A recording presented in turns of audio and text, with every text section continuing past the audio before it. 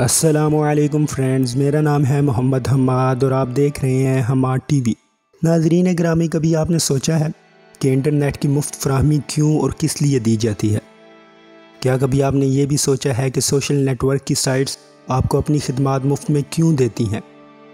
जब आपको किसी सामान की कीमत ना देना पड़े तो जान लीजिए कि सामान वो नहीं जो आपको मिल रहा है, बल्कि सामान आप हैं जिसे ख़रीदा जा रहा है।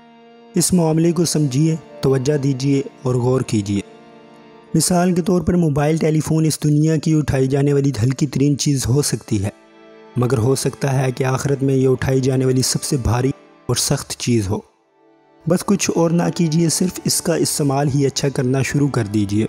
गूगल, फेसबुक, ट्विटर, व्हाट्सएप और इसी कबीले के दीगर प्रोग्राम ऐसे गहरे समंदर हैं जिनमें बड़े बड़े कदावर लोगों के इखलाक गिर कर डूब गए।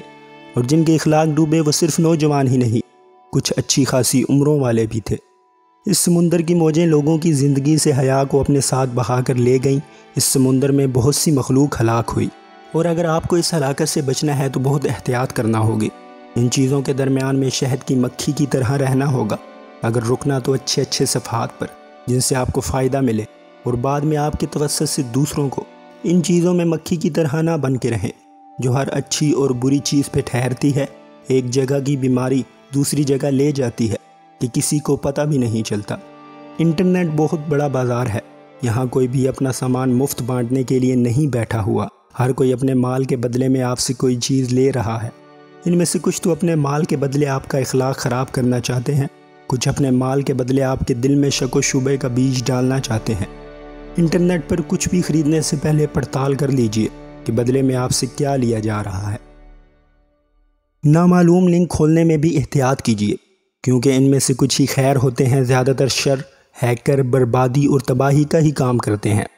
झूठी खबरें और अफवाहें फैलाने से बाद रहें, गलत चीज़ों की कॉपी पेस्ट से दूर रहें। जान लें कि ये वाली तिजारत नेकी भी हो सकती है और बुराई भी। नेट से सामान परख लें कि जिस चीज़ को आप आगे फैलाने जा रहे हैं, वो किस कबीले की है, क्योंकि लेने वाला वो चीज़ अब आपके नाम और पहचान से ख़रीदेगा।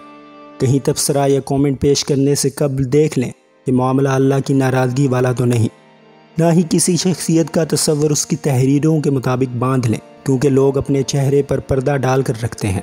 तस्वीरें एडिट करके पेश करते हैं, बातें बना बना कर पेश करते हैं, इखलाक को मिठास में घोल कर दिखाते हैं, झूठ पर सच की मुलम्मा कारी करते हैं, रवादारी और इखलाकियात का चूरन डालते हैं।